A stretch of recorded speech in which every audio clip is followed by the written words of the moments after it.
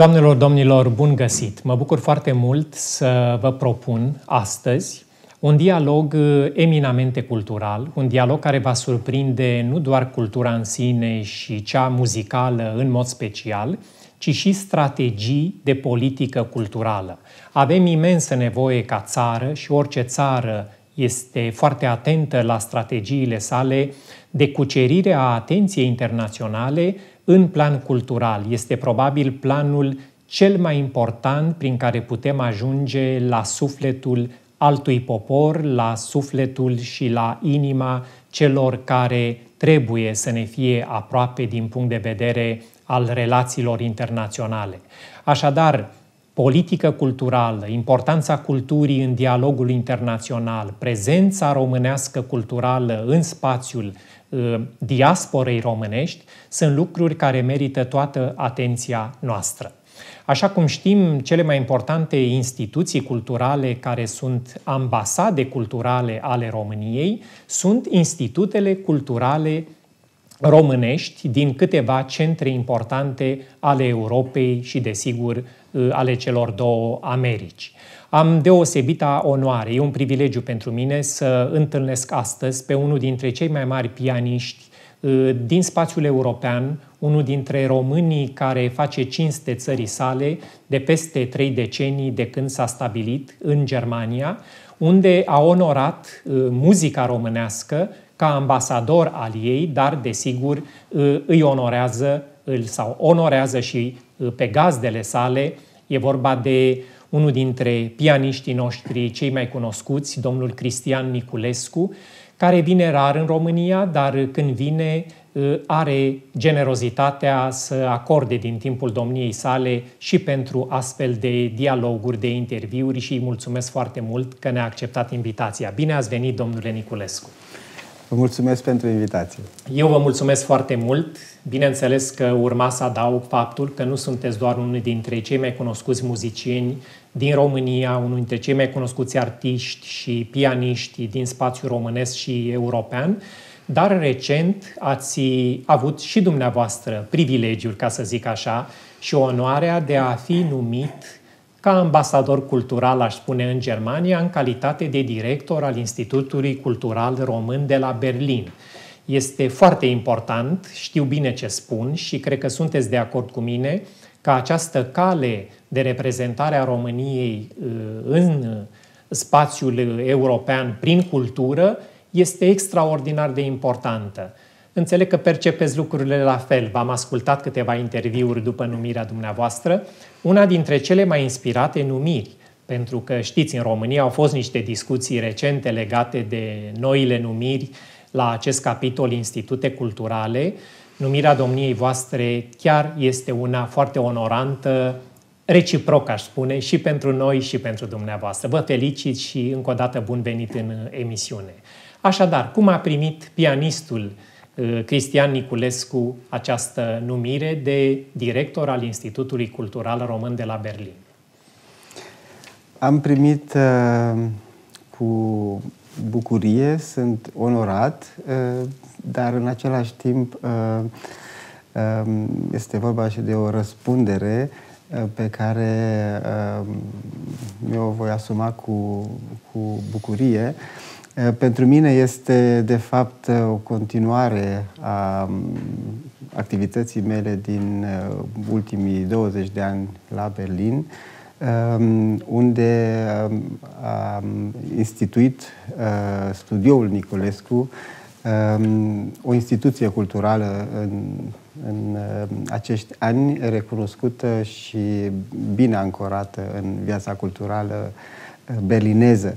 Eh, Berlinul este într-adevăr o capitală culturală deosebit de importantă. Este pentru mine cea mai importantă din eh, Germania și din Europa. Din Uniunea Europeană, și în mod din, sigur. Din Uniunea Europeană, ehm, doar prin, ehm, prin eh, faptul că la Berlin există cea mai importantă orchestră din lume, Berlina Filarmonică, dar pe lângă această orchestră uh, funcționează uh, mai multe orchestre recunoscute pe plan internațional, Deutsche Sinfonie Orchestra, Rundfunk Sinfonie Orchestra, Komische Oper, Staatsoper um, sau Concerthaus Orchestra. Trebuie să um, avem în vedere faptul că după unific, reunificarea Berlinului um, s-au regăsit uh, în fiecare parte a Berlinului uh, o orchestră filarmonică, o orchestră radio, o orchestră a operei. Și um, pe lângă aceasta foarte multe teatre, foarte multe galerii de artă și uh, scene care au apărut după um, uh, căderea zidului și după reuni, reunificare, um, care de asemenea au devenit centre de mare atracție pentru mari artiști ai lumii. Deci, în acest context, uh, studioul Niculescu a funcționat uh, foarte bine, având uh, ca oaspeți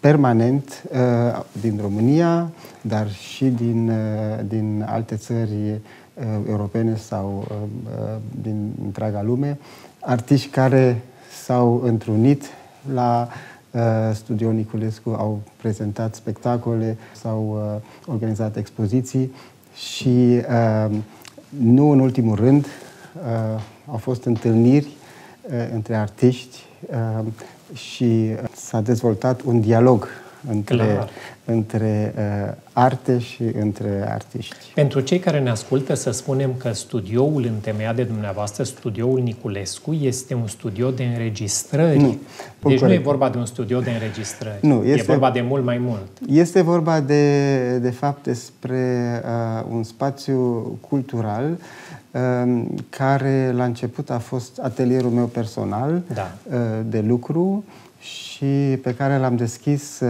încet, încet uh, pentru uh, public, mai întâi prin acele uh, house concerte, da. care în Germania uh, au o tradiție foarte lungă și sunt foarte uh, iubite de uh, publicul german.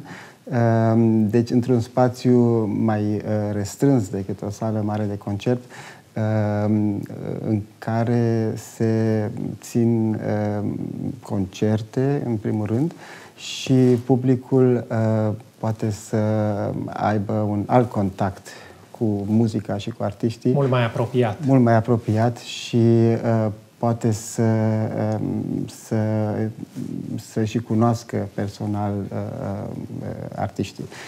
Acesta a fost modelul inițial și uh, am deschis din ce în ce mai mult porțile atelierului meu, cum uh, da. se poate spune, și a devenit o scenă de concert deci, uh, și de spectacole. Deci Cert e că asta traduce deja o experiență foarte valoroasă a dumneavoastră, nu doar cea de interpret consacrat uh, la nivel european, ci și cea de manager cultural, pentru că a fonda o asemenea structură artistică, a o coordona, a mijloci întâlnirea cu mari artiști care apar pe scene importante, evident, uh, mijlocirea acestui contact cu publicul, uh, contează enorm și cred că această experiență a contat la rândul ei în fericita dumneavoastră desemnare ca director al Institutului Cultural Român. Ce ne puteți spune despre Institutul Cultural Român de la Berlin? În ce măsură a reușit el să atragă atenția Uh, oamenilor importanți de cultură uh, din spațiul german. Care este situația actuală la Berlin din acest punct de vedere? Un uh, alt um, aspect um, pe care puțin îl, îl știu este că, datorită faptului că sunt de 30 de ani la Berlin, eu um, am fost de față la deschiderea uh, primului Institut Cultural Român și am uh, participat uh, la cam toate evenimentele, nu personal, dar am urmărit evoluția Institutului în toți acești ani.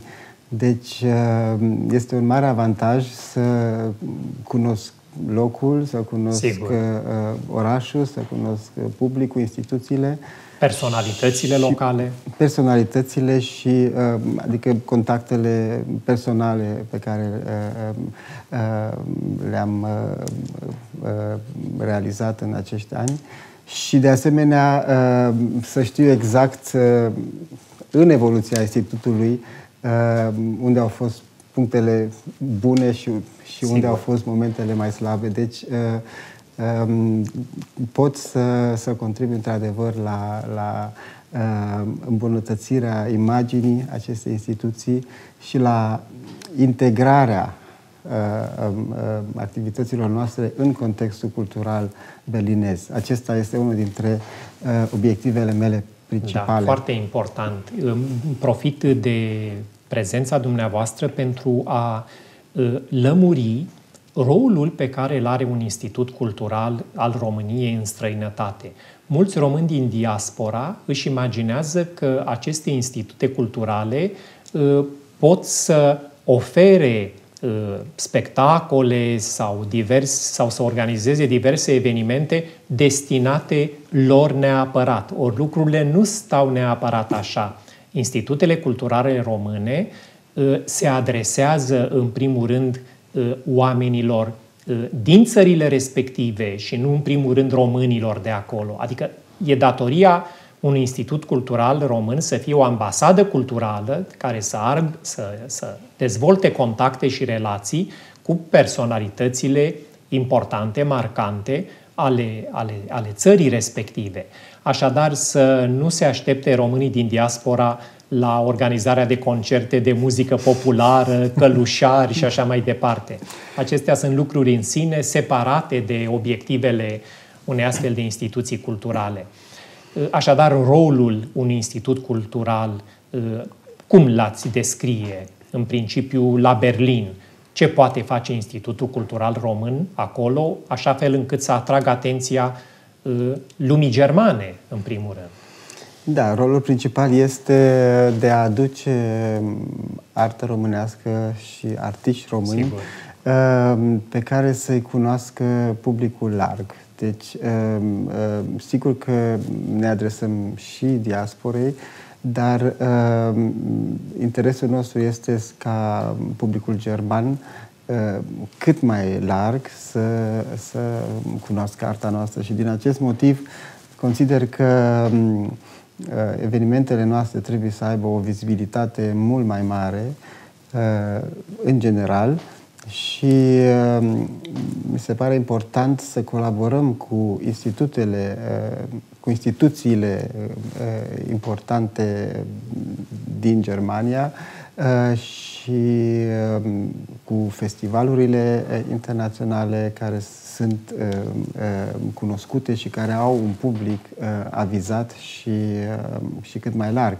Deci uh, nu este atât de important să uh, uh, avem evenimente culturale doar în cadrul ambasadei sau al, al institutului, ci uh, cât se poate de uh, des uh, să fim prezenți în sălile de concert ale Filarmonicii din Berlin, la Concerthaus, la um, operă um, sau în, uh, de asemenea în galeriile de artă um, din uh, uh circuitul berlinez. Um, avem uh, privilegiul uh, de a um, avea galeria noastră a Institutului Cultural Român în, uh, um, într-o zonă foarte uh, centrală și uh, într-o zonă în care sunt cele mai multe galerii de artă din Berlin. Există evenimente în Berlin legate de arta plastică și anume Gallery Weekend, de exemplu. Este un eveniment care chiar acum um, o lună a avut loc unde vin uh, artiști din toată lumea și uh, uh, uh, colecționari și uh, oameni de artă. Uh, și unul dintre, uh, uh, dintre țelurile mele este ca galeria noastră să intre în acest circuit, mai ales că este și în zona respectivă uh, foarte, uh, foarte bună.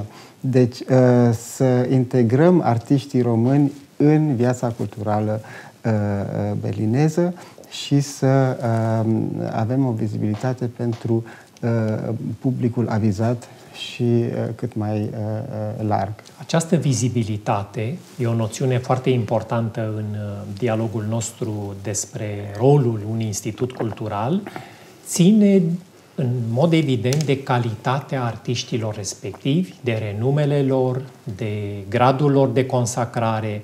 Din această perspectivă, dumneavoastră cunoașteți foarte bine diaspora artistică românească. Faceți parte din ea de, de peste 20 de ani, 30 chiar. Așadar, v-aș putea întreba pentru cei care nu cunosc nume importante, poate ale românilor care fac cinste țărilor Uh, în spațiul german. Uh, ce mari artiști români locuiesc acum la Berlin? Sunt câteva nume consacrate, muzicieni și nu numai, artiști de, de, de multe feluri. Avem așadar o bună reprezentare românească în spațiul german. Nu doar dumneavoastră ați fost ales de Germania, ci și alții oameni valoroși uh, au ajuns în această situație ca dumneavoastră. Ce mari nume, repet, de artiști români uh, populează acum, ca să spun așa, elita uh, artistică din Berlin?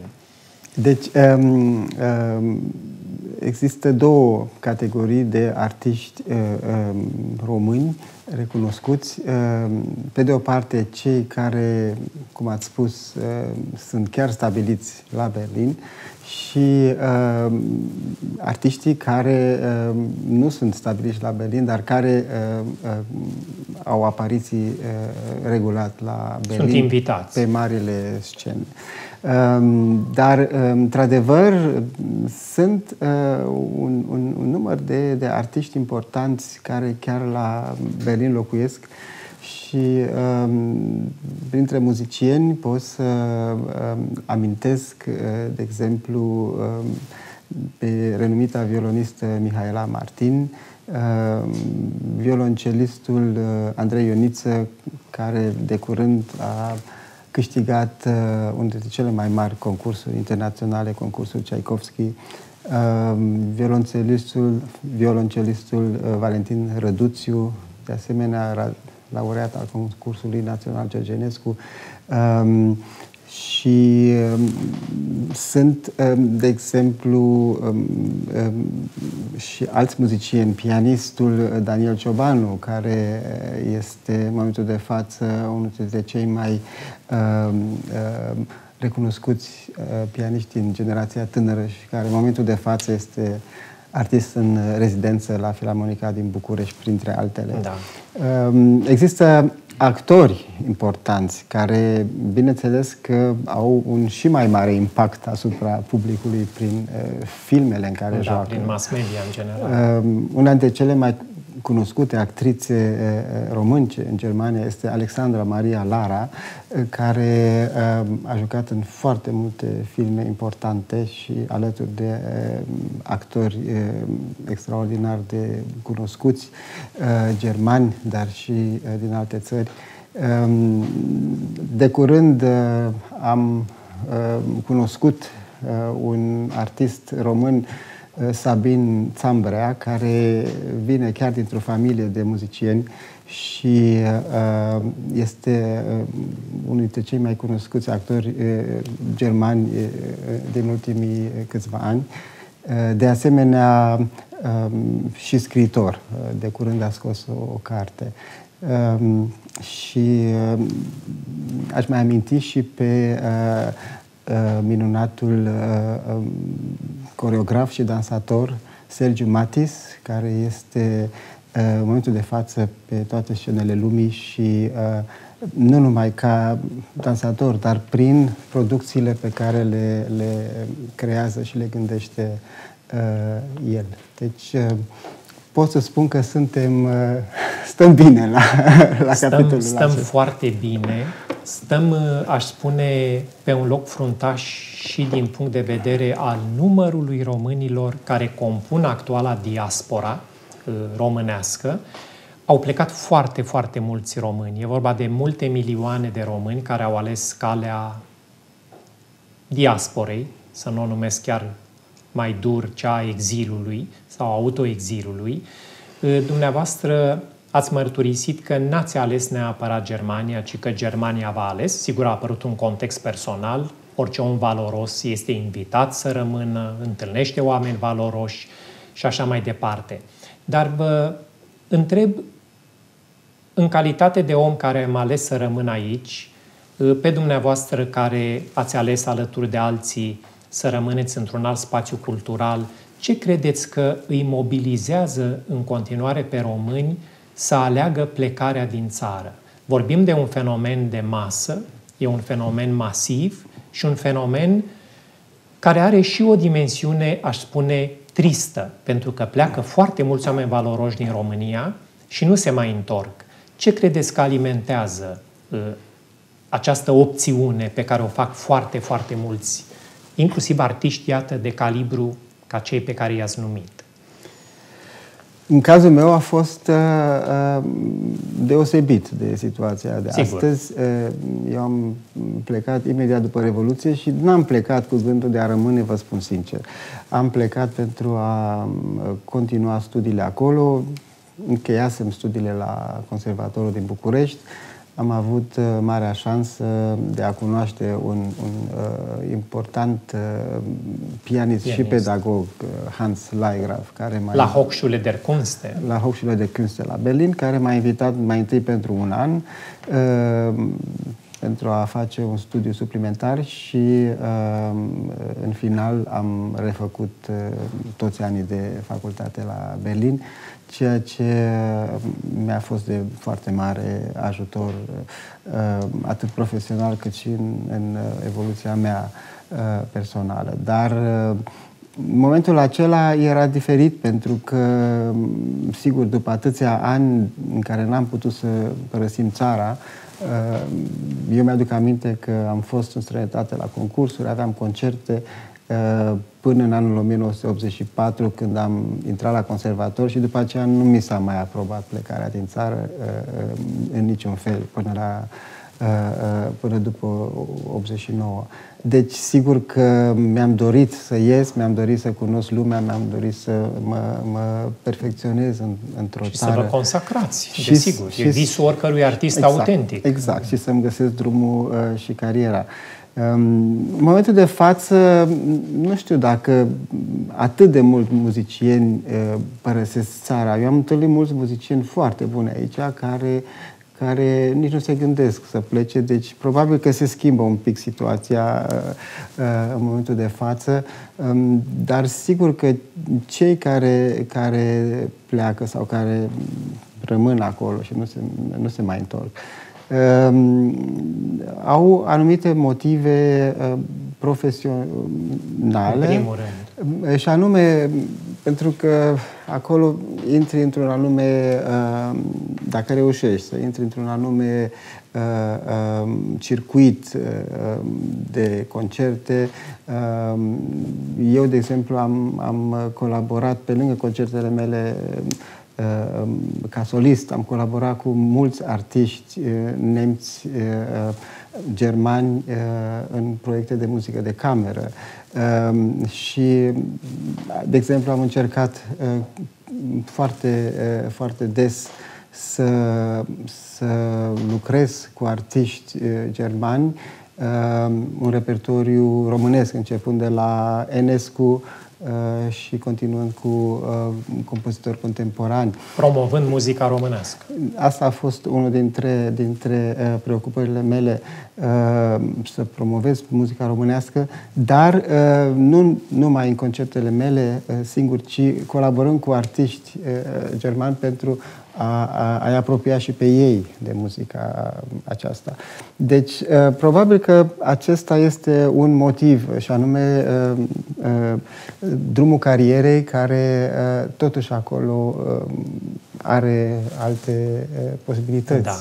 De, în primul rând acesta, drumul carierei, cum spuneți. Firește, întrebarea mea era ușor retorică, pentru că nemulțumirile care se acumulează sunt cele mai multe de natură economică, și sunt alimentate de nemulțumiri pe care în continuare le secretă abundent, aș spune, un sistem românesc uh, nu nu suficient de bine funcțional în, în foarte multe registre. Apropo de artiști români, de muzica românească, vă întreb direct, cât de bine e cunoscut Enescu în spațiul muzical german? Se poate vorbi de consacrarea numelui său de compozitor în mintea muzicienilor din Germania? În orice caz, uh, s-a, uh, s-a produs uh, o schimbare în ultimii ani. Când am mers eu în Germania, în anii 90, nu era atât de cunoscut cum este da. astăzi. Mi-aduc aminte, în anii aceia s-a realizat la Deutsche Oper la Berlin o nouă producție a operei Oedip, um, condusă de uh, regretatul Götz Friedrich, uh, o producție pe care a și prezentat-o în cadrul Festivalului Enescu în, în, în acea perioadă și uh, aceasta a însemnat uh, un, un uh, început al, uh, al uh, recunoașterii și, recunoașterii sale. Și cunoașterii mai, mai, mai, mai, mai bune a muzicii lui Enescu um, în Germania. Um, au fost și concerte de muzică de cameră. Eu mi-aduc aminte că am participat atunci, în perioada aceea, la un concert organizat de Deutsche Oper. Um, la Concerthaus am interpretat uh, lucrări de muzică de cameră, de asemenea, și chiar și la Filarmonica din Berlin, cu ocazia aniversării a 50 de ani de la dispariția compozitorului, uh, uh, a fost un concert uh, cu ansamblul uh, uh, cameral al uh, Berliner Filarmonicii, uh, al Filarmonicii din Berlin, uh, și anume cu un program care a inclus Quintetul de Enescu și Sinfonia de Cameră de Enescu. Acestea au fost uh, perioadele de început uh, uh, pe care eu le-am trăit personal. Uh, și mm, poate chiar am contribuit uh, atât cât am putut la propagarea muzicii lui Enescu. Cert, în mod cert. Mm, între timp pot să spun că uh, sunt foarte uh, multe evenimente uh, muzicale uh, și uh, aș vrea doar să amintesc, de exemplu, noua înscenare operei Oedip la Comișa Opă uh, în uh, toamna anului trecut, uh, și um, povestesc cu, cu, cu mare bucurie de fiecare dată despre uh, micul festival uh, Enescu uh, Silvestri, care n-a fost de fapt un festival, dar a fost o conjunctură, a fost totdeauna când mă gândesc la această săptămână, mă gândesc la săptămâna mare, de exemplu, da. a muzicii românești la Berlin, pentru că uh, în acea săptămână Uh, s-a prezentat la uh, filarmonică de către maestru Vladimir Urovski, care a fost și directorul festivalului Enescu la București da. până anul trecut, și anume a Sinfoniei a treia de George Enescu cu orchestra Rundfunk Sinfonie Orchestra.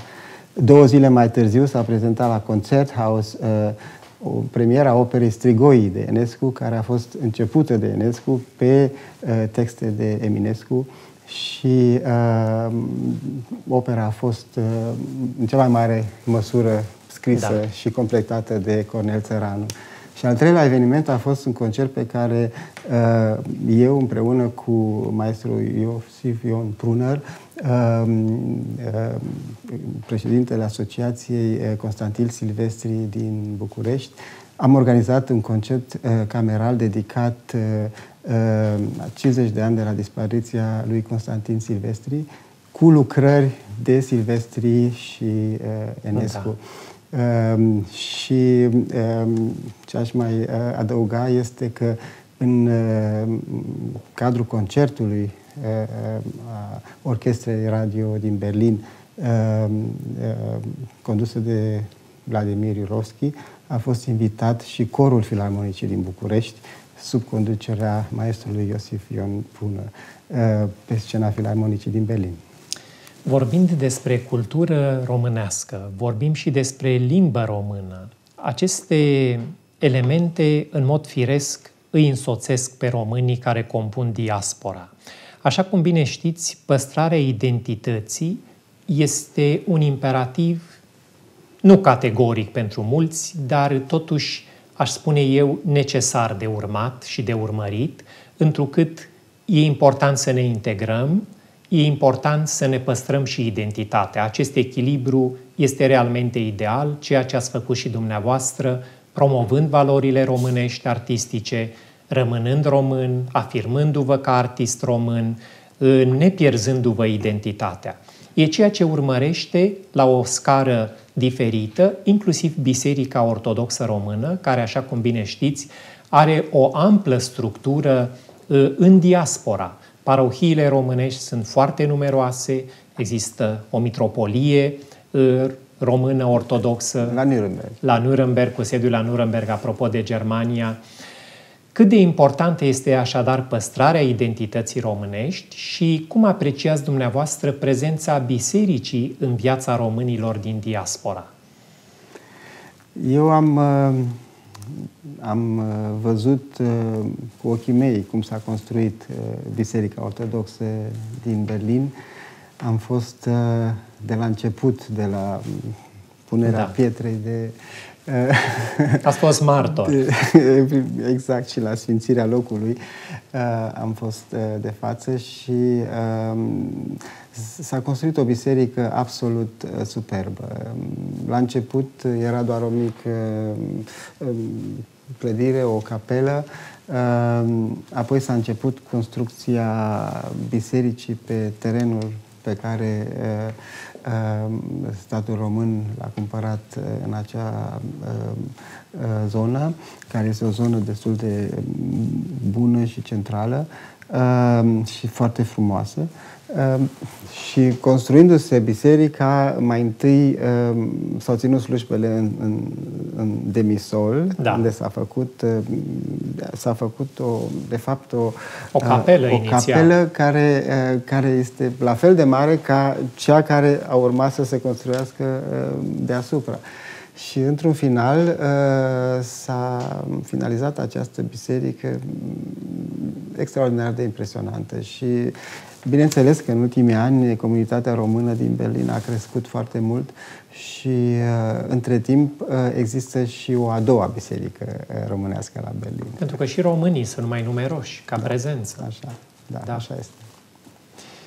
V-aș mai putea întreba, dacă îmi permiteți, cât de important este pentru un artist plusul pe care îl aduce credința, pe scurt sau raportarea lui la transcendență, ca să vorbim în termeni mai arizi, dar mai, mai bine cunoscuți în spațiu artistic. Se vorbește de artă cu spirit și de artă fără spirit. Dacă vorbim de muzica lui Bach, e limpede că vorbim de o muzică îmbibată de spirit religios, ca marilor compozitori eh, contemporani cu el. Știu, apropo, că vă place foarte mult eh, Bach, dar că Totuși, compozitorul dumneavoastră preferat este Schumann, fiind și pianist, înțeleg foarte bine uh, opțiunea dumneavoastră. Așadar, există o artă cu spirit care rezistă în timp și o artă contemporană pe care unii o numesc fără spirit. Cred că e importantă această distinție și se leagă de întrebarea mea. Este important sau cum se manifestă acest plus pe care îl aduce credința în viața unui artist? În viața unui muzician. Contează, nu? Contează foarte mult. Deci, um, eu personal, um, toată viața am fost uh, apropiat de biserică și nu pot imagina um, uh, viața fără credință. Referitor la muzică, muzică sacră sau muzică profană, Um, însuși Bach, care, după părerea mea, este cel mai apropiat de Dumnezeu, muzica lui Bach, uh, indiferent dacă este numită sacră sau profană, pentru că Bach a scris, pe lângă Mateus Pasion și Iohannis Pasion, Sigur. lucrurile uh, care sunt uh, cele mai aproape de Dumnezeu, după părerea mea a scris și cantate profane, și, uh, dar muzica este în continuare uh, foarte uh, sacră din punctul meu de vedere. Deci eu nu, nu găsesc la Bach nimic care să nu fie aproape de Dumnezeu. Iar asta se întâmplă și la cam toți compozitorii, pentru că muzica este, este um, unul dintre mijloacele um, cele mai firești și mai uh, uh, uh, mai ușoare de a, de, a, de a ne apropia de, de Dumnezeu, cred eu. Deci, um, eu când interpretez anumite lucrări, sigur că muncesc și lucrez și uh, sunt uh, uh, concentrat, dar întotdeauna există un, un anume spirit care, care, uh, care mă, mă conduce și uh, mi-aduc aminte și de Celibidache da. când, când a venit la București uh, în 1990 cu Miște Filarmonică și uh, am participat la întâlnirea de la conservator uh, a muzicienilor cu el și când ne spunea că în timpul concertului uh, mai deranjează cornul sau oboiul că a cântat ceva fals, dar el de fapt uh, este în altă sferă și încearcă să prin muzică să, să, să ducă și publicul. În acea... Apare o stare de grație cum este ea numită, și orice stare de grație presupune o înălțare, o ieșire din imanent, din tot ce înseamnă uh, profan. Exact. Grația are legătură cu sacrul, cu transcendentul, cu dumnezeiescul și, cum spuneți, e suficient să asculți o piesă de Bach sau chiar de Mozart. Sunt foarte rari compozitorii care n-au a avut acces la acest transcendent da. și la această uh, dumnezeire care este izvorul inspirației unui mare compozitor. În timp ce vorbeați despre Bach, îmi aminteam de o mică butadă a lui Cioran care spunea că uh, atunci când sunt în preajma lui Dumnezeu, îngerii uh, ascultă Bach, dar când rămân singuri, ascultă Mozart. Da, el fiind, sigur, un mare iubitor de muzică Cioran, dar uh, firește, e un exercițiu de imaginație al său apropo de ludicul din muzica lui, lui Mozart și de, de masivitatea și maestozitatea muzicii, muzicii lui Bach. Uh, revenind acum, uh, domnule director, vă pot spune și așa, pentru că sunteți directorul Institutului Cultural Român din Berlin, care ar fi proiectele pe care ați apucat deja să le conturați, deși timpul de când ați fost desemnat nu este unul foarte lung. Care ar fi primul proiect de care vă ocupați acum la Berlin în numele Institutului Cultural de acolo? Și ce urmează anul acesta estimativ măcar? Aș începe cu uh, primul eveniment uh, pe care uh, l-am uh, deschis uh, în noua mea funcție și anume acum două săptămâni. Ehm, a fost ehm, o expoziție a unor ehm, artiști români din, din Cluj care au prezentat un, un proiect numit Unnatural Circumstances. E un da. proiect mai mare care a fost prezentat și în alte centre europene și um, am fost uh, deosebit de, de impresionant de, de, de, de profesionalitatea lor, de prezența lor, de, de tot conceptul uh, expoziției și de prezentarea uh, uh în sine. Uh, munca mea a constat în fapt, uh, în, în primul rând, în a deschide această galerie de care vă spuneam că este în centrul Berlinului, și care, din păcate, uh, uh, în ultima vreme și din cauza pandemiei și din alte motive, nu a fost deschisă publicului larg. Uh, am deschis ferestrele, am pus lumini, am invitat câteva sute de persoane care n-au știut de această galerie și n-au participat până acum la evenimentele Institutul Cultural Român. Deci am deschis deja uh, porțile și uh, către un public nou și uh, elevat. Uh, acesta a fost uh, primul meu eveniment și sunt foarte mândru că am reușit în așa scurt timp să, să, uh, uh, să avem Sigur. un succes. Uh, următoare... Reflectat de mass media germană. Chiar vreau exact. să vă întreb în ce măsură mass media germane sunt interesate de diversitatea aceasta culturală. Din câte știu, sunt foarte da, deschise. Sunt foarte deschise, dar asta este de asemenea o sarcină noastră da. să uh, avem să un, semnalați. Să avem un contact mai da. apropiat și uh, uh mai acerb cu, cu, cu, cu presa și cu televiziunea uh, din, din Germania.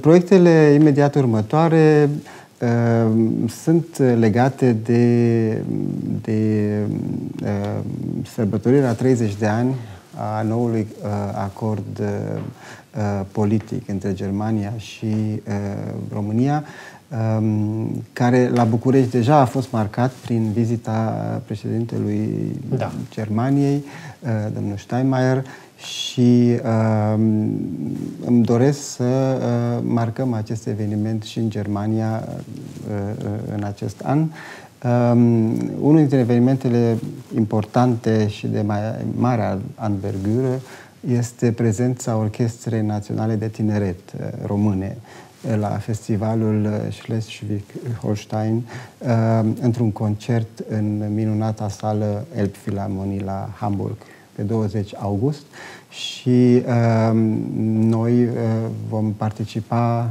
vom susține acest uh, concert, vom participa și financiar și bineînțeles că uh, vom încerca să facem cât mai public uh, acest eveniment. Uh, spre sfârșitul anului, vă spuneam înainte da. să intrăm în emisiune, va fi uh, din nou uh, uh, un concept uh, deosebit care ne onorează foarte mult și anume uh, un concert la Filarmonica din Berlin uh, sub bagheta maestrului Vladimir Rurovski și în compania orchestrei Rundfunksinfonie Orchestră Berlin a corului Filarmonicii Georgenescu din București, din nou, sub conducerea maestrului Iosif Ion Pruner și cu acest prilej îmi doresc să organizez un concert uh, de Crăciun uh, într-una dintre bisericile importante din Berlin, unde vă invit și chiar m-aș bucura dacă uh, um, televiziunea Trinitas ar putea să fie de față. Vă mulțumim foarte mult, vă mulțumesc. Evident că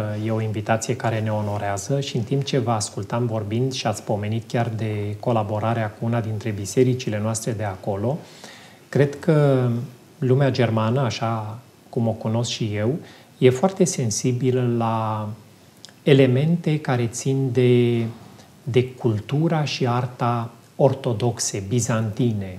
Sunt foarte curioși în legătură cu icoanele, sunt foarte plăcut, plăcut impresionați de muzica bizantină și din această perspectivă, dacă îmi permiteți, evident, e o sugestie modestă, Uh, cred că Institutul Cultural Român, nu doar de la Berlin, ci din spațiul occidental în general, uh, poate mijloci o mai bună cunoaștere a mesajului artistic ortodox, bizantin, iconografic sau muzical în, în spațiile din care fac parte. Avem corale foarte frumoase, profesioniste, este consacrat în spațiul românesc, sigur, Uh, corul Tronos uh, de muzică psaltică, bizantină, autentică al Patriarhiei Române și nu numai, avem artiști, iconari extraordinari. E un spațiu cultural dens și spațiu românesc ortodox, din păcate nu întotdeauna suficient de bine și clar promovat în spațiul occidental. Este rolul inclusiv al bisericii, dar și al institutelor culturale române, autentice ambasade culturale ale României în, în acest uh, spațiu. Dialogul nostru a ajuns aproape de sfârșit. Vă mulțumesc foarte mult și mai am timp să vă întreb dacă prezența dumneavoastră artistică va avea de suferit din cauza confiscării dumneavoastră ca manager cultural acum. Sperăm că nu pentru publicul dumneavoastră. Da, nu intenționez să uh, întrerup cariera pianistică în, uh, în primul rând pentru că asta este profesia și viața mea și în al doilea rând că prin ceea ce am realizat profesional uh, am ajuns da. să fiu uh, numit în această funcție. Sigur că uh, uh, am proiecte importante și idei multe pe care aș vrea să le pun în practică și um, pentru asta uh, va fi nevoie de muncă și de perseverență, dar și de ajutor din partea unor instituții și poate chiar a unor uh, asociații sau sponsori locale Um, pentru a pune un, un accent în uh, activitatea acestui institut uh, prin uh, prezența și activitatea mea. Um, desigur că um, voi continua activitatea concertistică și mă voi bucura să fiu prezent în România pe scenele foarte mult iubite de mine. Mă bucur foarte mult. E o veste foarte bună faptul că veți reuși să, să le împletiți aceste misiuni pe care le aveți. Ambele sunt în slujba, aș spune eu, frumuseții, în slujba artei autentice și în slujba culturii românești pe care o reprezentați acolo. Vă doresc din toată inima multă ocrotire și ajutor din partea lui Dumnezeu în noua dumneavoastră misiune. Inspirație aveți din destul și din belșug, asta este limpede, ca artist consacrat deja. Să fiți ocrotit, domnule director, și să vă ajute Dumnezeu să vă împliniți toate proiectele cunoscute și încă necunoscute pe care, pe care le aveți și le veți avea. Vă mulțumesc foarte mult pentru prezență. Și eu vă mulțumesc foarte mult pentru gândurile și pentru urările dumneavoastră. Mulțumesc! Mulțumesc! Pe curând! Doamnelor, domnilor, vă mulțumesc și dumneavoastră pentru atenție și vă îndemn să urmăriți activitatea prolifică pe care domnul Cristian Niculescu o are în plan artistic internațional. Este unul dintre pianiștii români, așa cum spuneam, consacrați la nivel european și care, iată, are și șansa bine meritată de a um, se ocupa din Uh, acest moment și de destinul cultural al unei instituții importante care reprezintă România într-una dintre cele mai importante țări ale lumii, uh, Germania. Îi dorim mult succes și dumneavoastră vă doresc multă bucurie, sănătate și o revedere cu bine. La revedere!